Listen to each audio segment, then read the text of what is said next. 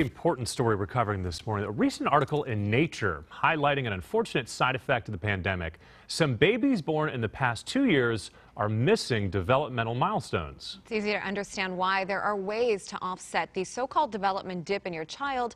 Joining us live this morning with tips is the president of Programs for Brain Balance Achievement uh, Centers, and that is Dr. Rebecca Jackson. Good morning. Good morning. So tell us about the developmental dip. What does that exactly mean? Uh, some of the milestones that babies are not necessarily hitting? Exactly. Research is showing that babies born during the pandemic are often testing behind in some foundational areas of development.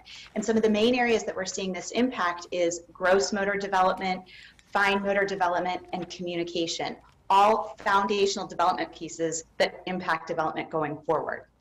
So if they don't have those things moving forward, what, how are they impacted ne negatively?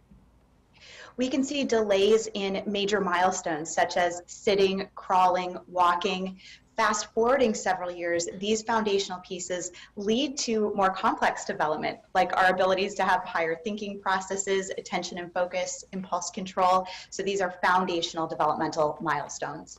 So obviously there are parents of newborns at home right now and they're probably really worried about hearing this. So can you help them out? What are some of the ways we can get them back on track? Is one of them getting outside? Getting outside is one of the simplest, most powerful tools we have at our disposal. Our kids have experienced less in the way of sensory exposure and movement over the last two years because we've changed so much of how we function. So exploring your neighborhood parks, getting kids outside and around other people beyond just your immediate family, even if it's at a distance, can be a really important sensory experience to help engage and activate these key areas of the brain. You know, I noticed this in my younger son, who's now two and a half, but he was just about five months when we went into lockdown. And so naturally, we had to limit our social circles. We weren't going places. And I noticed that he was becoming a little shy. So, how do we reverse some of these things? You know, finding ways that you feel safe to interact and expose your kids to people and different environments.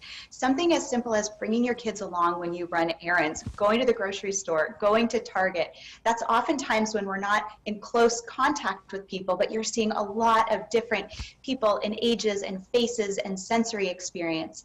And then that close circle, having times and opportunities to interact face to face with people outside of your immediate family is so key for those developing brains.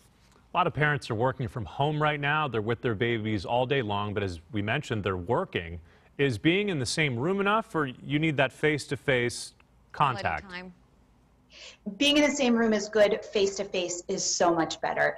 And all of us right now are multitasking and juggling more than ever especially when we were back in juggling school from home and younger siblings. So taking time to set aside devices and single task focus on your kids of all ages is really important. That face to face time babies mimic and mirror you. So that close contact with expression is again a key piece for helping foundational development.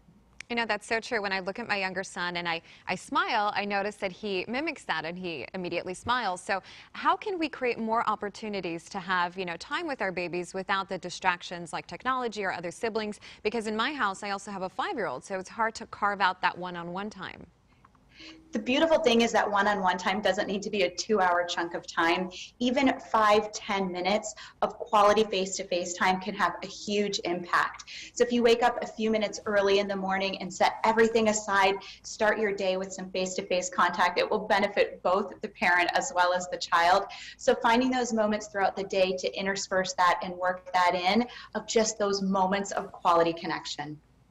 So there's one thing that really hasn't changed in my life I love playtime. I loved it when I was a baby. I love playtime right now. You say that's so critical for child development?